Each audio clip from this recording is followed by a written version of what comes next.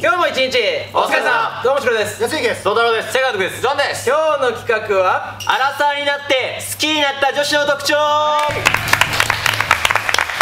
今回もアニコン会員さん限定ではい。公開収録という形ではい。やらせてもらってるんですけれども、ありがとうございます。ありがとうございます今回ですね年を取るにつれてちょっと女性の好みというか、はい。タイプみたいなのって変わってきてるかもしれないんで、もちろんです。この年になってこういう女性好きになりましたよみたいな、はい新たに気づいた魅力を。そうそうそうそう、はい。そういうのを出していきたいと思います。はい。それではやっていきましょう。いつもありがとはい。はい、おじおばキラーですねうおーなるほどね。これはおじさんおばさんとかとめちゃめちゃフランクに会話をしてなんか新しい情報を引き出すタイプの人が大学の時はそういう会話の機会もないんではいはいはい。あんまり分かんなかったんですけどこの年になってそのどっか行くとん。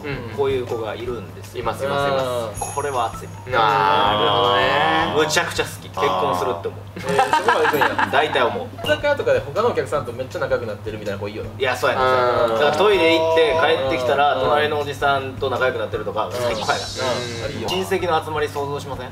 あなるほどな無双やん。あここ行っても俺ぶっきらぼうでええやんって思う。安心できるよね。はい、はい。あと元気さより落ち着きを求め出す。おあー。それは絶対そう。これめっちゃ変えてたんじゃないですかみんな。確かにな。いや変わったな。キラキラな女子が好きでした。い昔はやそうそうそうそうそう。そうすごい元気な人好きだったじゃないですか。好きだった好きだった。好きでしたよあれ？えいやいやいやごめんごめん。俺はお前の直近の声を知ってるから なんか元気やったなみたいな。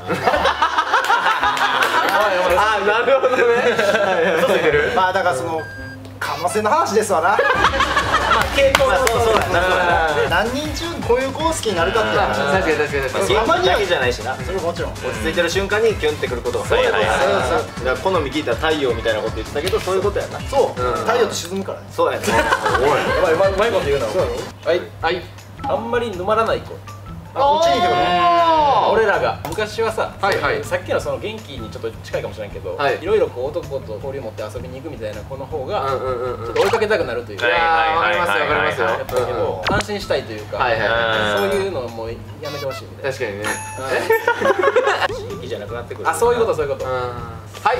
はい。おバカです。あー。え僕逆に学生ぐらいまで潔癖ってぐらい頭いい子つけてたんですよ。あ分かる。俺もその方ですね。学歴とか喋ってて知的やなみたいな子にしか惹かれなかったんですけど、へおバカな子はおバカな子で違う時間過ごしてんだよなとかに気づき出して。へそうそうそうそう。なんかいたら朗らかやなみたいな感じで、はいはいはいはい。ここは結構俺重要度が高まったかな自分と思いますね。あー。空っぽで喋れるしとか。学歴どうでもよくなった。どうでもいいよね。だよする？昔から気にしてあたそうだよね。気にしてないなお前から。えそれ単純になんか点数が高い子が好きみたいや普通にもう頭がいい子。会話うんそうそうそう。の中でそうこっちの糸組んだりとかーとかいうのができる子がすごい好きだったけど、まあ、そこそこまで重要じゃないなって思ってきた。なるほどあね。うんはい。はい。はい。ワードチョイス独特な子ですね。ああはいはいはいはいここまで考えてなかったんでうん。可愛い好きやったんですけどうん会話しててふわっと言った言葉がうんあそれ日常生活で使ってるの初めて見たわみたいなはい言葉をポンポン掘り込んでくる子ははいはいはいはい。ちょっと惹かれますね。確かにな。くさびとかなちぎりとかちぎりとかな。そういうことじゃない。いやそういうことやそういうことチーモン焼酎とかな。どこで使うのい確かに顔一点突破だったよな若い頃って。やそれはそう。あれ顔と見た目というかね。俺結構多かったですよ。はい。はい。ボディです。ボディ？ボディです。ってことですか？やっぱもう見るからにセクシー魅力的な子にもやっぱ惹かれてました昔、うん。まあ、そんなそこの比率高くないな最近と思います、へまあ、もちろん目は行くけど、うん。そうじゃない子にも目を向けれるようになったみたいな。ところは俺大人になったかなとすごい思う。いやわかりますえね。でもほんまにざっくり言ったら外見よりやっぱ中身やなってなったってこと？ああそうかもね。どういうところを重視するようになったよな？代わりに？内面なんか俺あ変わらんあ若い時のやつにどんどん乗ってきてる感じや要素がね。そうだから顔ってなってたやつがボディ乗ってきてうん。で人格ってなってきてもうだから増えすぎて困ってるわ。逆にね。回答者少なくなってくるじゃん。あそういうことか。削れていってないんや。はい。はい。TPO に合わせる人です。おおはいはいはいこれはもうめっちゃ気になってきたっていう話なんですけあど逆にね。その場所によって声のボリュームが変わるか。はいあーなるほど。変わらない子が本当に無理になってきました。あーここでその声でしゃべらんでくれとか。うんいやそこでそれ大きい声で言ったら周りの人顔ちょっと気にして歪まうやろむとかわあ虫入ってるとか言ってね。あそうそう。それはやばい。ああそうだね。それはよくないですわ。俺らが行く場所もふ変わったというか増えたんかもね。うん。手札が。うん。大学の時はもう俺どこの店でもごちそうさまでしたって言ってたから。出る時に。でも最近ラーメン屋だけにしてんの。そうやね。正解そうそう。そうこのタイプのやつね。寿司とか食いに行ったらもうごちそうはい。はい。あの母性マシマシの子を好きになるようになった。お昔は？昔はあんまりそれ意識しなかったかもしれない。例えば面倒見いいなみたいなところが別になんかプラスではなかったというか、あんまり感じる感じることがなかったんやけどそれはそうかも。なんか年取ってからすごいこの子世話焼きやなみたいな、はいはいはいはい。なんかちょっとこううんええなって思うようになってきた。ああなるほどね。昔はちょっとやめてっていうか。おせっかいというか。そうそうそうそう。反抗期男みたいな感じだったよ、うんああと逆にそれもらって当たり前だと思ってた可能性は。あー。あるな俺昔。これのありがたさに気づくそうそうそうそうそうそうそうな一人暮らしした後のおかん家事してくれてたんやに近いのかなと思ったえー、母性増しましてどうでもどういう子なのなんか別にそのやってくれるとかじゃないですけど、うんほどけてるよとか言われた時ちょっとキュンとするよああ紐とか。ここここちょっとめくれてるよ。そう。靴ほどけてるよとかこうなんかちょっとキュンするするよはいはいはい。昔はうるせえぞというはいはいはい。そうなんや。反抗期息子や。尖りすぎやろうるせえぞとか言わんよ、うん。心の中でね。ありがとう。ってなったあうん。やっと追いついてきたか。追いついてきた。遅いよお前ら。まあちょっと母性言ってもんな。俺はもう大学のずっと言ってもなんぼですあれはタコちゃんと出会った時から言ってる。いいっすか。はい。器の広さかなっていう。何言ってもうん。受け止めてくれるんやろなっていうのはうん結構安心感につながってくるなっていうありがたいですね。うん。なんかえそんなこと言わんでええのになみたいなのをうん。ポロって言っちゃった時にまあそうやなってこうただ流してくれる瞬間とかうん。あると結構でかいなと思います。ああなるほどね。こっちがなんかいらんこと言った時にまあまあみたいな。それが笑いに変えてくれたりとかマスク流してくれたりとか、まあ、そういうのは、いいなと思いますけど。うん。頑張りますよ。大丈夫ですよんすかなんす。かいやなんかちょっと自信なさそう。やけど新興味感はありましたなんかフォームがすごいシックなんですけど。まあ、そういうのはいいなと思いますけど。うん。おい。はい。変なところがある人ですね。どういうとこだ？付き合うということがゴールだったんです。はいはいはい。Now はどれだけ続くかを見るじゃないですか。そうだね。はいはいっていうことを考えた時に飽きないかをめっちゃ見るようになったなと思って。うんこの人と一緒にいたら俺は飽きないだろうかずっと楽しみ続けられるだろうかって思ったらマジで理解できないところとか予測不能なところを持ってる人ってめっちゃ魅力的に見えるここでその挙動するのマジで理解できへんけどそれが笑える挙動やった時うん。にその人と家族になった時に絶対それで笑う日が来る。そうだね。めっちゃいいこと言ってる気がしてきた いやでもそうやと思うほんまに。予測不能はなれないからね。昔なんやこいつ変なやつやなで終わったもんな、うん。なんでうっすらしてるんですか？いやあんまりいいこと言ってなかったのになんか変なかまし方してちょっと変なことだったなと思っていやいやいいこと言ってるで。いいこと言いましたようんわかるわかるわかる。いいこと言ってました？言ってました。あはい。はい。静止してくれる子。うーん。ちょっとイラッとした時とかに「まあまあまあ」って言って昔「まあまあ」って言った時に「はいい。やいや俺は怒ってんねん」みたいな。うん。もっとこうこうこうやねんって俺は伝えたかったから止めてくる子あんま好きじゃなかったんですけど、んまあまあまあって言われてこれ切れてもしゃあないしなみたいな、うん。大人なんだなってことで気づけるようになったかも。静止してくる子に対して、はいはいはいはい。なるほどねですね。はい。はい。素朴な人割と好きになったかも。え？大人になって。結構派手な人ばっかやったけど生き方的にも花のある人というととねか金遣いとかもちょっとはい割と、ーガーって払う子の方が好きやったんやとかへー。割と堅実な人が好きになってきた。うん。やっぱあれちゃうん。シクロがやっぱ豪快なままやからじゃんあまあそうかもしれんな。い逆を求め出してるのもそうですうん。これでも手じゃなくなったからじゃん。関係ある？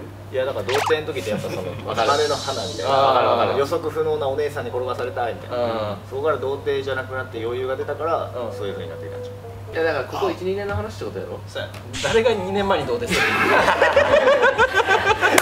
違うちゃうわ。半年30からえぐいて。これはい。はい。はい。はしゃぐ人なんですけどこれ俺昔無理やったんですよ。海とか見た時にうん。うわー海やーああおるおる。海やろ。めっちゃ思っててうん。ただ昨日ん。S 駅と友達ではい。海行ったんですよ。うん。サウナとか行ったんですはいはいはい。けど2人でずっといるじゃないですか。うん。年々テンション下がっていくじゃないまあですか。男はね。まあまあね。だからうん。2人で海とか行ったら「うんええやん。って言って それぞれ散ってタバコ吸ってそろそろ行くか。で終わるのよ。いつもならね。だからここにはしゃぐ人がいると「ううんわ海や!」って言ってくれたら、なんかいつもより楽しい一日になった気がするっていうここでガッて上げてくれたり感動してくれる人いやがそうやで。めちゃめちゃなんかこっちに幸福感を伝えてくれんねやいやそうよそうよ。大人になったからこそそういう人ありがたいかもな。そう。あこれでそんなリアクションよくしてくれるんやっていう人のうん。ありがたみがやっと分かってきた。そうだな。俺も多分結婚してなかったら静かやなと思うもん。今おるから明るいなってなるもん。家が。いや軽いであれは。明るかったやろ？軽いよあんな。叫んなよマジで。ミスタードーナツ買って帰ろうくだりもあったりして。ええ死んでまうて。女とでな。そうええよな。男ってなんか暗なっていくよな長く生きて。結構暗くなっていくよそうそういやほんまにそうやで。この人たち TPO に合わせたって言ってたじゃないですか、滝とか行った時に目出すんですよこの人。え？どういうこと？滝のほとりみたいなところがあるやん。ああるあるあるバチャチャって、はいはいはいはい。周りに岩あって、で俺ら眺めてて、ちょっと俺寝るから 滝のほとりで出だして、俺も何したらいいか分からへんから「ああ分かりました」とか滝の TPO 合ってんのあれいやまあだから自然に TPO とかを持ち込むなっちゅう話ああそういうことね。あそこはブレイクやろ自然は。人工物だけだよ。だってさ滝見に来てさう「うわ山奥の滝やどんなんなんやろ」言うて知らんやつがガッサー寝てたらさ大自然だって思うやん。そういうことやったんあれやだから別にそうそういうこともあるやん。俺はなるわ。TPO はさここそんなうるさい店じゃなくてみんなで空気作ってんのにっていう場所やん。確かに確かにね。滝で大の字はそうっすよね。気持ちいいっすよね。あ確かに。確かに確かに確かに。許されそう公園で寝転んでるとかねそうそうそう。ああそっか。まあ人もいなかったんで。ねそうそうそう。えーあれなんか道で寝てたらもうあかんやんあそれ道はダメです。人としてあかんやん日焼け裸おじさんっているよ。公園とか夏あのあ俺な。衝撃やねんけど。え東京来て、うん。街中の公園で普通におるおるおるおるおる。おるおる田舎やからさ、うん海とかそういう場所でしか脱いでる人見たことなかったから東京はこんな都心で服脱いでもええやんと思って、ねおーそうなの新宿御苑とかでもやってんの御苑とかもおるよおるよおるよ。へーシート。引いて真っ黒で。ここピチピチの。そうそうそう。マジで？ほんでそのままチャリ乗ってくから。なそうやんな。えー。服着へんで。何の話だったっ日焼けおじさん。違うのえ違うの日焼けおじさんあるあるじゃないですかあそうなんや。バタフライかトランクスか悩むってことしたけど。違うのね。はい。はい。男レジャーが好きな人が好きになっていく。あーね。例えばサウナ。はいはいはい。はいはいサウナ一緒に行ってくれるとか。女の子がやっぱまあ。行きたくないかもしれんけど無理やりそんなね拉致なんかはしないです。うんうん当たり前やろ。キャンプとかな。そうそうそうそうそう。うん。ソロキャンやってるとかちょっと嬉しいもんね。嬉しい嬉しい。うん。昔は多分もしかしたら女の子っぽいというかさ、はいはい。牛がさやだーあーわかる。女の子も好きやったかもしれんけど、うん年々行くとアウトドアだってもう行けるぜっていう子が好きになっていくんじゃないでしょうか。あそうかもね。自分の好きなものが分かってきたよね、うん。っていうのもあるのかなと思った。昔ってなんかかっこいいからこの趣味やるってなったけどどうしていやかっこいいとかじゃなくて俺がただ好きやからこれ趣味にしようみたいな選び方が増えてきたなあー。でそこで共通すると嬉しいな。そういうことね。うん。サーフィンとやってたもんな。やってたんすか？そうやっちゃうんすかかっこつけてってことか。っこつけて。全然好きじゃなかったでしょ全然好きじゃない。でしょ？車に。湘南で？上にこう。乗せて。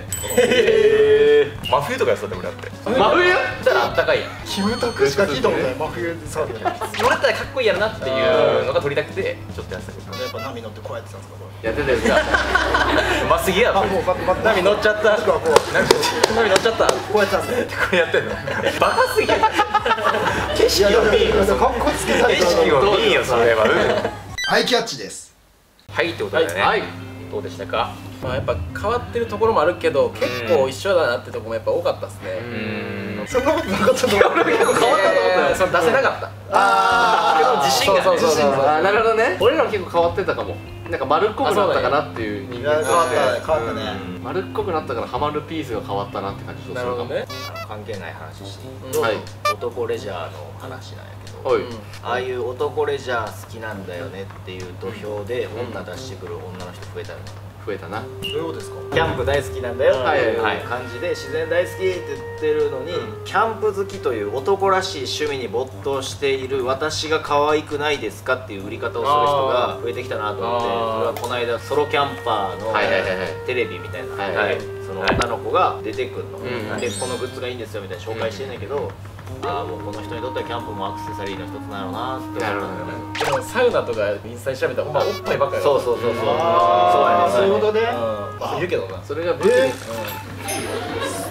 だからやでえ？そうやねだからやるんだ。あそうそうそう武器武器になるから。ま あまあこっちが悪いんやけど全然。うん。確かにな。ごめんな。まあでもそこにやっぱ神話はあってほしいよな。そうそうですね。うん。好きが前に来てほしい。うん。それはすごいわかるねはいまあこんな感じで年を取りにつれてね好みもちょっと変わってたりするんで、はい。皆さん参考にしてみてください、はい。ありがとうございました。ありがとうございました。